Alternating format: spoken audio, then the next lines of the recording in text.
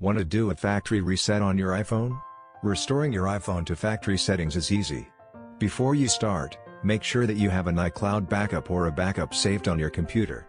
A factory reset will erase all the data on your iPhone, so you need to make a backup of your iPhone if you want to save your contents or settings.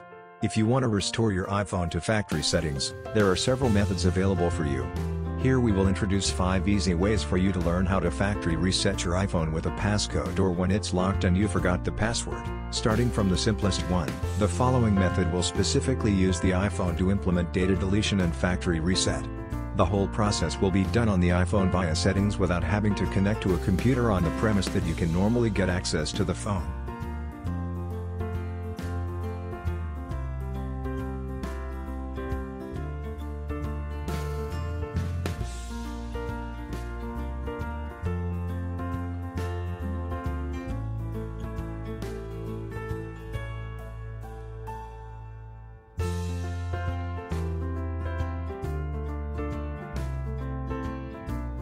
Sometimes if you have entered the wrong passcode too many times or you just forgot the password and then it will lock you out. To fix it, you need to reset iPhone to factory settings under the condition that you don't need to enter the passcode. This might be one of the most efficient solutions on how to factory reset your iPhone when locked.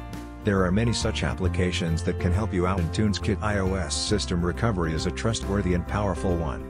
It will help you remove any kind of screen passcode no matter its numeric ones or more advanced Touch ID and Face ID. Besides, its full compatibility also enables users to restore all iOS devices including the latest iPad or devices that are running the latest iOS system. With this software, you can resolve all the issues from iOS devices no matter your iPhone is stuck on a white screen or could not make any response to you. Now just get the free download of the software and then you can use it to restore your iPhone to factory settings. Launch TunesKit iOS System Recovery and connect your iPhone to the computer.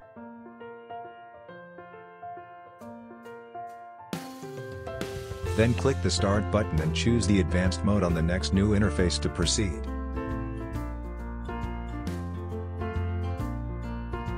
Confirm your device info and correct it if anything is wrong. Then press the download button to start downloading and verifying the iOS firmware package that matched your device. Finally, follow the on-screen prompts to complete the whole process. Besides, there are other three methods to help you factory reset your iPhone without a password. You could use iTunes or iCloud to reset your iPhone to factory settings. If you lost your iPhone unexpectedly and accepted the truth that any stored data will be inaccessible, you can simply erase the device remotely. Go to iCloud Find My iPhone, then enter your Apple ID and click the Find My iPhone option. Now follow the on-screen prompts to finish the process. There's another solution to factory reset your iPhone without a passcode. Before you start, make sure that the iPhone you are using has been backed up to iTunes via a computer. Then connect your iPhone to the computer and start following the steps to restore your iPhone.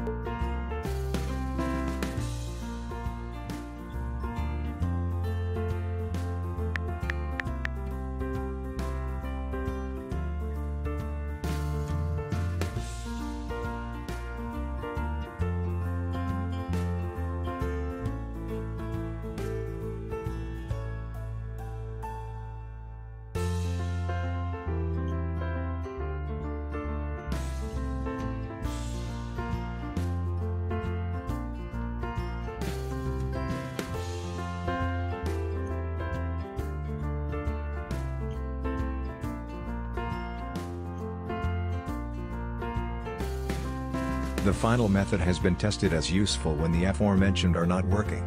And it's easy to factory reset your iPhone without a password through recovery mode and the following is how.